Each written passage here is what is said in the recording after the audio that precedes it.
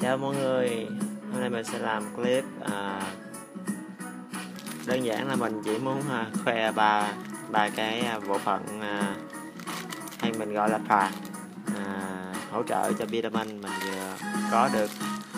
Nhân vào ngày sinh nhật 10 tháng 5 và đây là những gì mình có vào ngày hôm nay.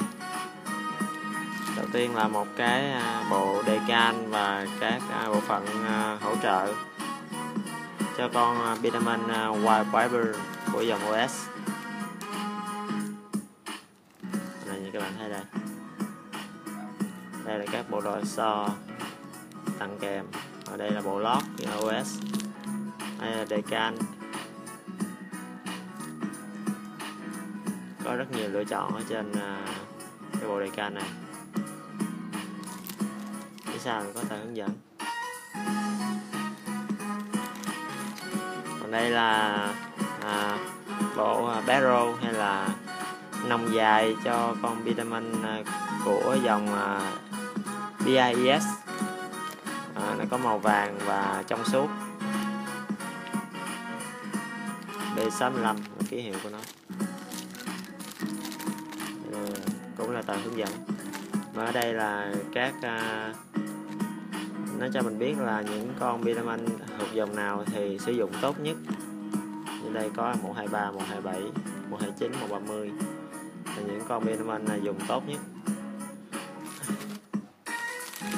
Còn đây là cái uh, trigger riêng biệt của con Vitamin uh, à, Full Helios.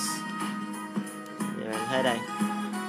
Mình thì thật ra mình không phải là fan của các bộ phận à, bộ phận gắn kèm lên Vinaman bởi vì bình thường à, mình thi đấu thì không dựa nhiều lắm vào các bộ phận à, hỗ trợ.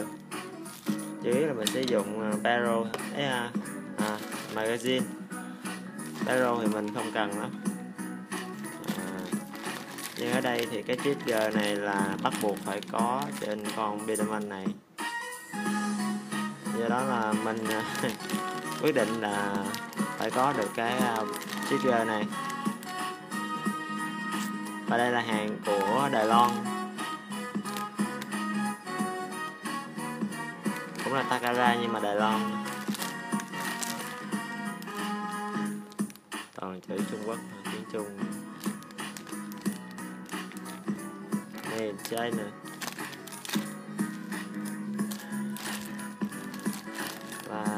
tiếp theo cái clip này mình sẽ thực hiện lắp ráp. Cái bộ phận này cho các bạn xem và hẹn các bạn à, vào cái clip tiếp theo. Cảm ơn.